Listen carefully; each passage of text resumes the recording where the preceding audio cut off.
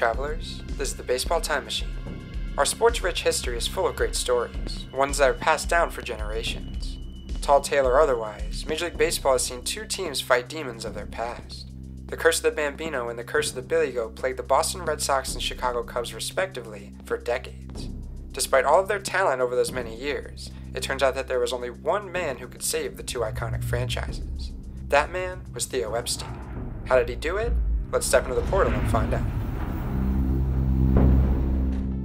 Our story begins in 2002 when the Boston Red Sox promoted 28 year old Theo Epstein to general manager, making him the youngest GM in MLB history at the time. Epstein, raised near Fenway Park in suburban Brookline, was now in charge of one of baseball's oldest franchises. He inherited a talented team, but a cursed one. The Boston Red Sox were once one of MLB's most successful ball clubs. They won five of the first 15 World Series titles, including the very first modern Fall Classic in 1903. Young two-way phenom Babe Ruth was a key part of World Series victories in 1915, 1916, and 1918. In 1920, Sox owner Harry Frazee, needing cash to fund his Broadway musical, decided to sell Ruth to the then lackluster New York Yankees for a mere $125,000. The scripts flipped from there. The Bronx Bombers, now led by the Babe, won their first four World Series titles and would go on to win 27 over the next century, the most by a single team in North American sports. The curse became not only a focal point in their rivalry, but something acknowledged every time the Sox came close to reaching the ultimate goal, winning a championship. There have been several cursed instances involving the Red Sox documented over the years. Let's briefly go down the timeline. 1946, Boston's first World Series appearance since selling the Sultan of Swat. Ted Williams, in his only fall classic, was ineffective at the plate as he battled an injury. Despite being up 3 2 in the series, the Sox would drop games 6 and 7, falling to the Cardinals. 1948, the Red Sox finished the season tied for first place in the American League with Cleveland. In MLB's first one game playoff, Boston would lose the pennant. The Tribe went on to win the World Series. One year later, 1949, the Red Sox needed to win just one of the last two games of the season, but lost both to the Yankees. 49 would be the year the Bronx Bombers began their run of a record five consecutive World Series titles. 1967, Boston won the American League pennant on the last weekend of the season after finishing second to last the year before.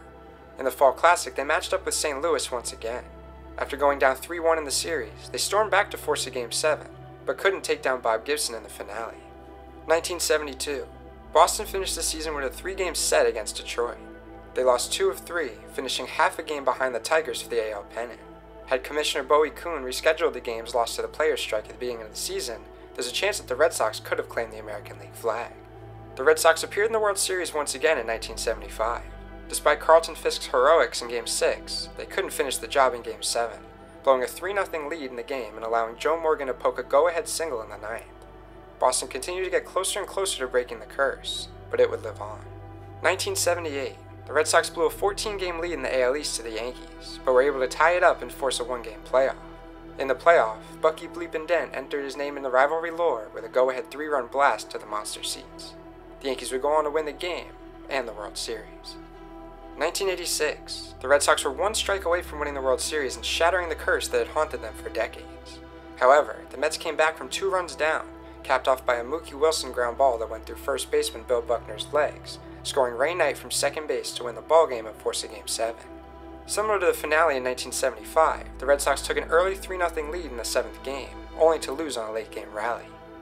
Collapses in the last two games prompted New York Times columnist George Vecsey to write articles describing the Red Sox as cursed. This is when the curse narrative really began to form. The losses in Games 6 and 7 of the 86 Fall Classic started a then record 13 game postseason losing streak. The Sox suffered sweeps in 1988, 1990, and 1995. The streak was broken in 98, but still resulted in an ALDS exit. Boston was taken down by the Evil Empire in the 1999 ALCS. Their next CS appearance came in 2003, which is where Theo Epstein got to experience the curse firsthand. The Red Sox took the Yankees to Game 7 of the ALCS. Once again, the Sox were a game away from the Fall Classic, and once again standing in their way were their bitter rivals. Up 5 2 in the eighth inning, manager Grady Little in a move that would ultimately get him fired, decided to stick with ace Pedro Martinez rather than going to the bullpen. Martinez, who had suffered a loss in Game 3 and was already at 100 pitches entering the eighth, totally collapsed. New York rallied, tying the game on a single and three doubles. 16 pitches and three crucial runs allowed later, Little came back out and removed Pedro. The bullpen was able to limit the damage and force the game to extras.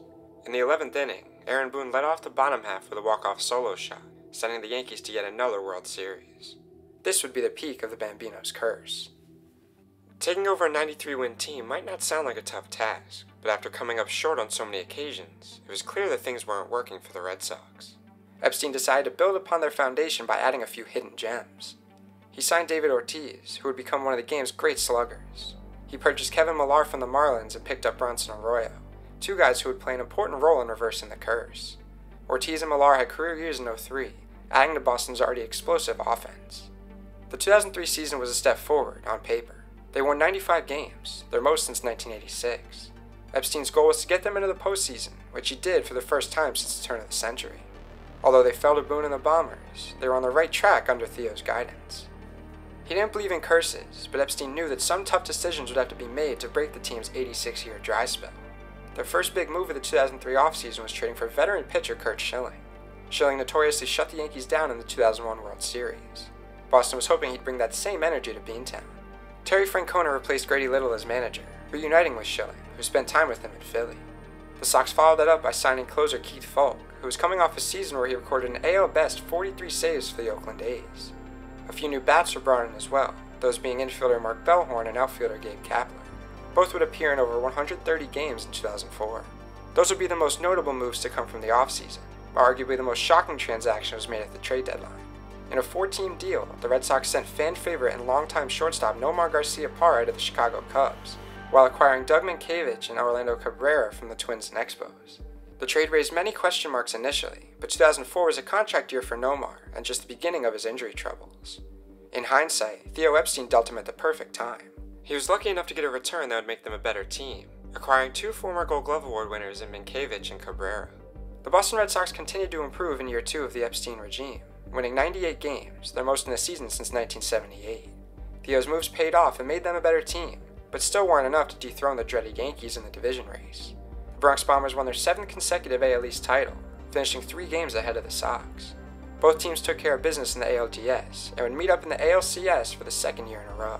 It was the perfect opportunity for Boston to get revenge for the year prior and prove that they were a better team than their far more accomplished foes. However, it looked like the long running narrative would continue. The Yankees jumped out to a 3 0 series lead, including a 19 8 drubbing in Game 3. With New York one win away from their seventh pennant in nine seasons, Boston would have to do something never done before in MLB's vast history. Theo's acquisitions would lead what many consider to be the greatest series comeback in sports history. In Game 4, David Ortiz clubbed a walk-off two-run blast in the 12th inning to keep the Red Sox alive. He'd be the hero in Game 5 as well, landing a walk-off single in the 14th inning to send the series back to New York. Big Papi had almost single-handedly given Boston hope, but what lay ahead remained unprecedented. Game 6 is what many remember as the bloody sock game. 37-year-old Curt Schilling, with his team's season on the line, pitched with a torn tendon in his right ankle. Blood poured from the sutured ankle before he even tossed a pitch in the first inning, but it didn't matter. Schilling shoved, allowing only one run on four hits in seven innings of masterful ball. Mark Bellhorn was the difference maker on offense, smashing a three-run homer as part of a four-run fourth en route to a 4-2 victory. The Red Sox had come all the way back and forced to Game 7. Sometimes to challenge history, you have to make your own, and that's exactly what they did. Boston stunned the Bronx 9 in the seventh and deciding game, comfortably winning 10-3 to advance their first fall classic since that fateful 86 series. The 2004 Red Sox became the first team in MLB history to come back from being down three games to none to win a series. The baseball world reacted in shock and awe of what had occurred.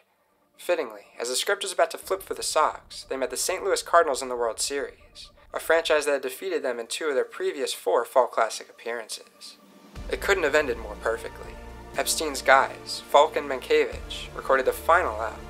The Boston Red Sox had slayed the beast, reversed the curse, and won the World Series for the first time since 1918. At age 30, Theo Epstein had taken the Sox to the promised land, just two years into his tenure as general manager.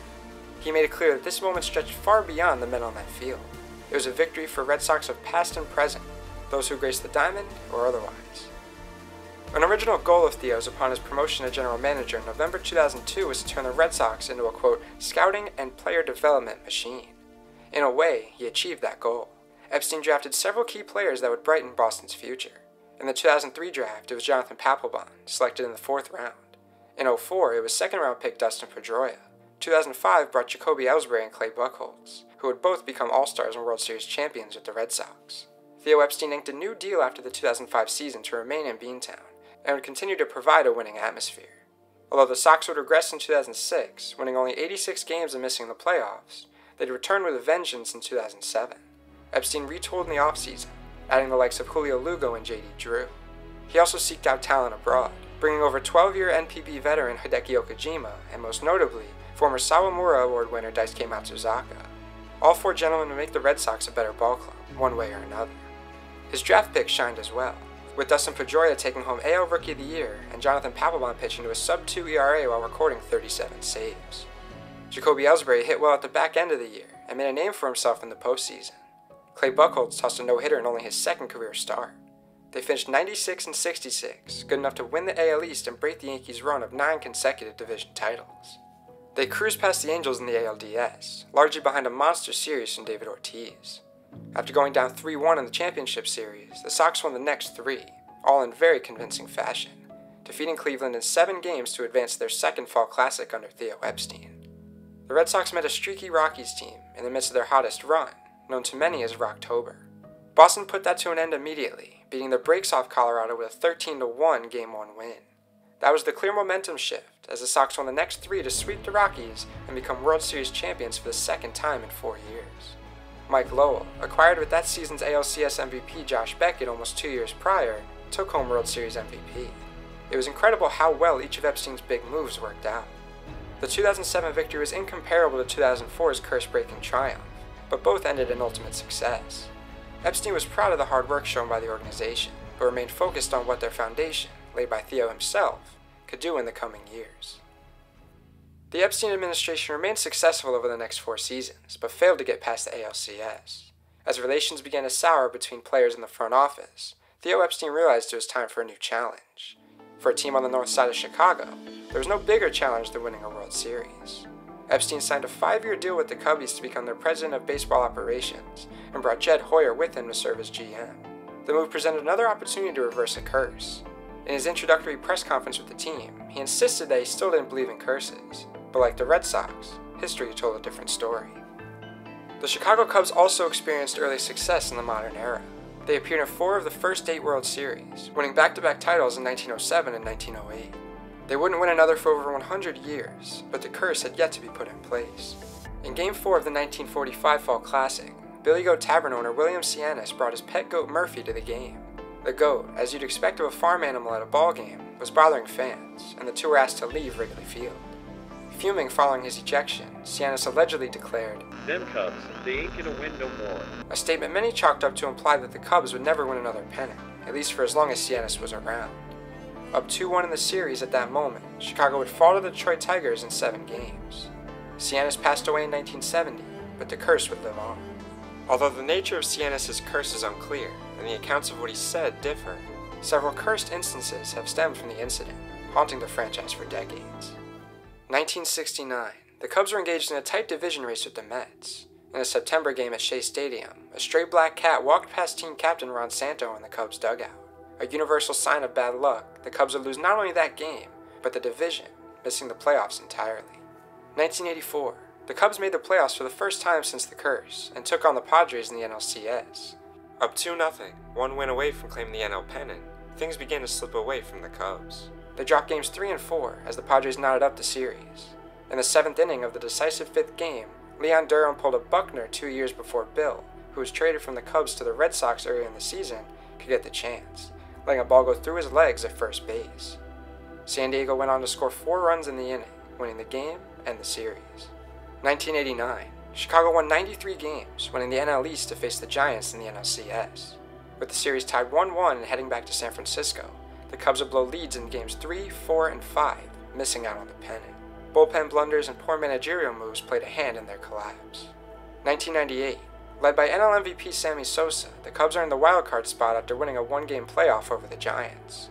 Their time in the postseason would be short, though, as they were abruptly swept by the Atlanta Braves, outscored 15 4 in the series.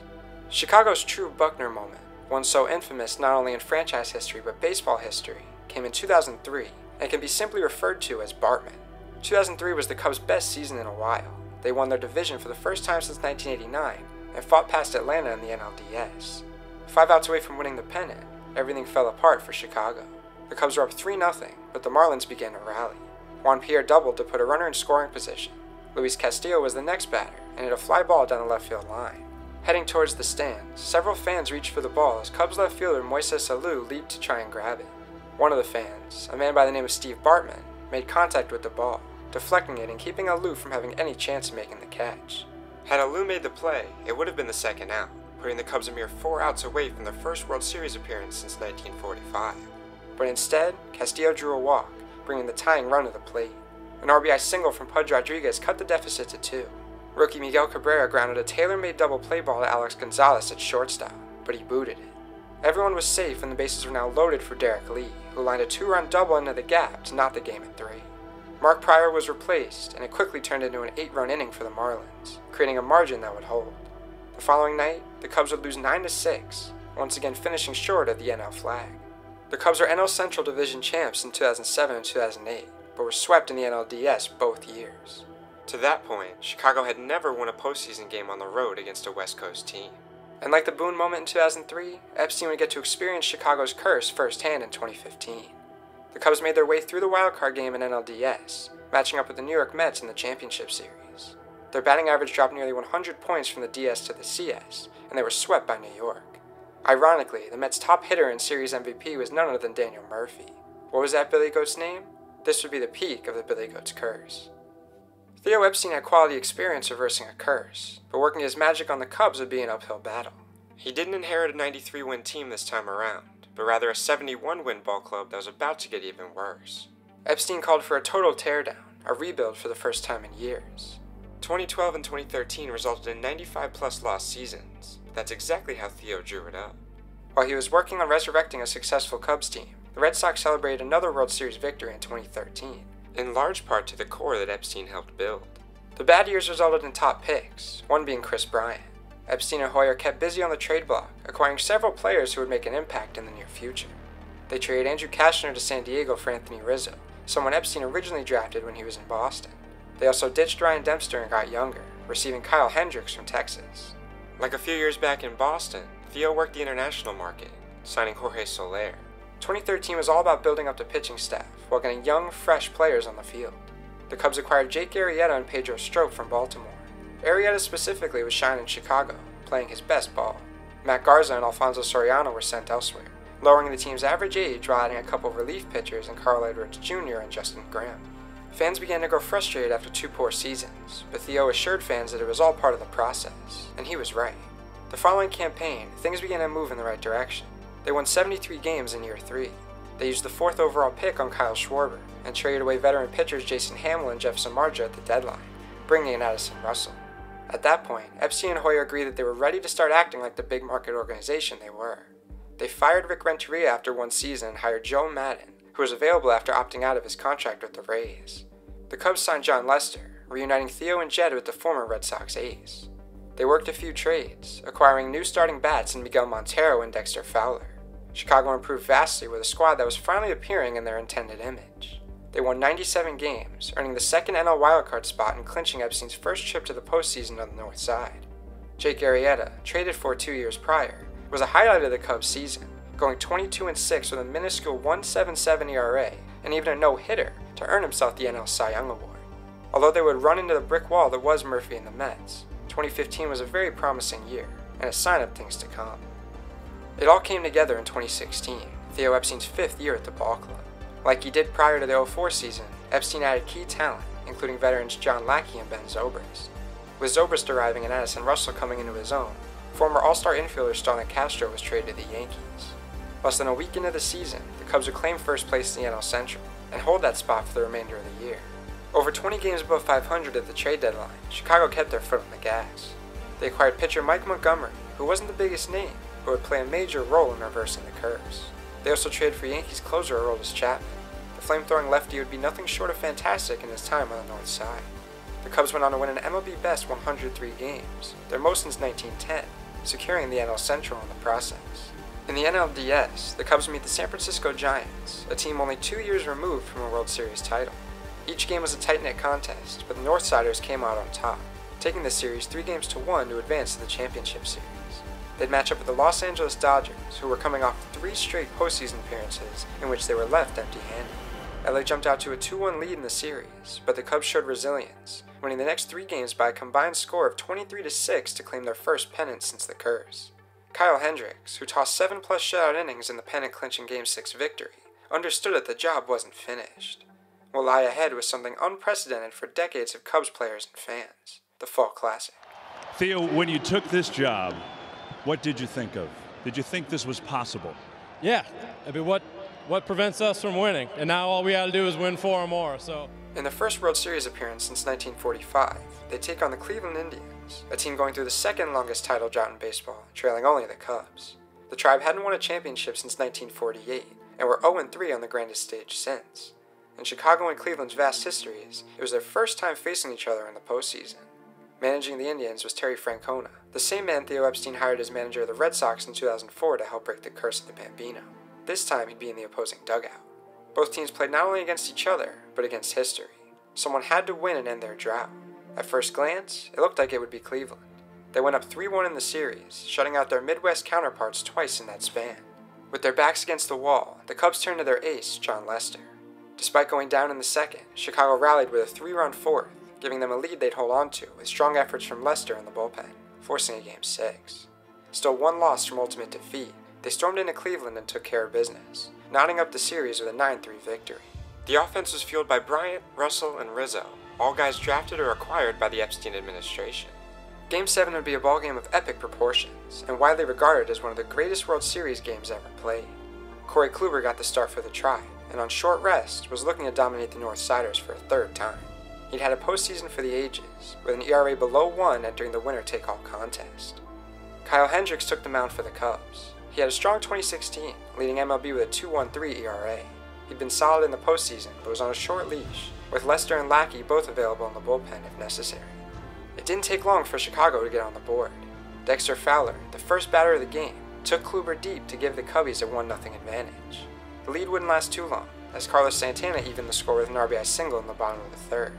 The boys in blue answered back immediately, scoring two in the fourth on an Addison Russell sac fly and Willson Contreras RBI double. They tack on two more in the fifth with a Javy Baez solo shot and RBI single from Anthony Rizzo. Now up 5 1, they had insurance to work with, or so they thought. The tribe would chip away, scoring two on a wild pitch and an error in the fifth. Even after David Ross extended the lead to 6 3 with a homer in the sixth, Cleveland wouldn't quit. With two outs in the eighth, Cubs closer Aroldis Chapman was tasked with recording a four out save to secure the victory, but the Indians jumped on the fiery southpaw. Brandon Guyer worked the count full before stinging a double into the gap scoring Jose Ramirez to cut the lead to two. The next batter, Rajai Davis, was known more for his speed than anything else, but managed to cement his place in World Series history with a game tying two run homer to left, sending Progressive Field into a frenzy. Each half of the ninth inning went scoreless, forcing Game 7 to extra innings. The story was writing itself at this point. Whoever was going to win was going to do it in cinematic fashion. As rain began to pour down at the start of the 10th inning, the grounds crew rolled out the tarp, putting the game in what would be a 17 minute delay. Huddled together in the visiting weight room, outfielder Jason Heyward rallied his teammates together with a speech that would be talked about for decades to come. Cleveland comes back on us three runs. Our players during that rain delay. Thank you, thank you, Ernie, thank you, Ronnie, for that rain. I was walking down in the clubhouse and I saw all our players, all 25 guys, gathered, huddled together, shoulder to shoulder in the weight room. And instead of lamenting what had happened and blowing the lead, they were picking each other up. We got you. We got this. Let's keep grinding. We're the best team in baseball. We're going to win this game. We're going to win it for each other. We're going to win it for the fans. Let's go do this right now. And as soon as I, I, overheard that, I stopped for a minute. I said, we're going to win this game. The tarp was removed and the two teams resumed their winner-take-all affair. Kyle Schwarber started off the inning with a single, putting the lead run on base. After a Kris Bryant flyout moved pinch runner Albert Almora Jr. to second base and Anthony Rizzo was intentionally walked, Ben Zobrist seized the lead for Chicago with an opposite field double, scoring Almora Jr. and making it a 7-6 ballgame. Two batters later, Miguel Montero added another with an RBI single. Up 8 to 6 moving into the final frame, the Cubs went to Carl Edwards Jr. for the save. He retired the first two batters, but just like in the eighth inning, the tribe began to come alive. Brandon Guyer walked and advanced on defensive indifference. At the plate representing the tying run was none other than Rajai Davis, whose eighth inning heroics forced extras.